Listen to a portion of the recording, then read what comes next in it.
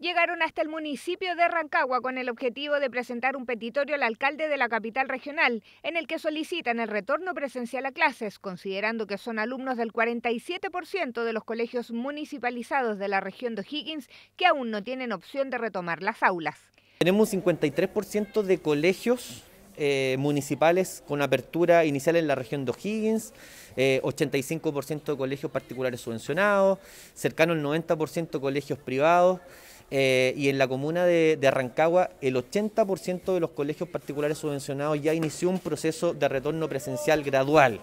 También tenemos una pandemia en estos de problemas mentales, entonces nosotros tenemos que también preocuparnos de eso y hemos visto un deterioro de nuestros estudiantes, de nuestros compañeras y compañeros.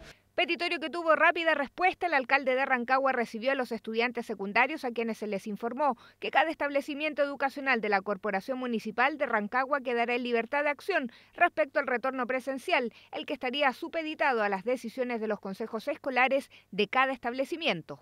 Los consejos escolares que representan a los docentes, asistentes de la educación, estudiantes, administrativos de los colegios, están informando hoy con fecha 23 de agosto las resoluciones precisamente del establecimiento.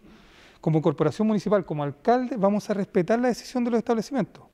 Hasta ahora los colegios particulares y particulares subvencionados llevan la delantera en cuanto a presencialidad. De ahí que surge la pregunta sobre qué falta para repetir la historia en las escuelas públicas de Rancagua. La Corporación Municipal de, de Rancagua ha tenido un trabajo bien destacado desde el punto de vista de la organización y de la implementación de las medidas sanitarias. Por eso es un poco inentendible que esto se siga extendiendo.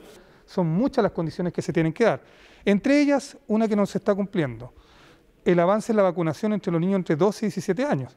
Tenemos que ver temas de conectividad, implementación de tecnología. Lo que esperamos es tener este retorno con las condiciones tecnológicas, sanitarias y también con la participación de los consejos escolares. Pero más allá de las posiciones contrapuestas, lo cierto es que hoy no hay fecha para el retorno presencial a clases en las escuelas públicas de la capital regional. Se había anunciado para el 20 de septiembre, pero será cada comunidad educativa la que finalmente decidirá cuándo se retoman las clases en aula en la ciudad de Rancagua.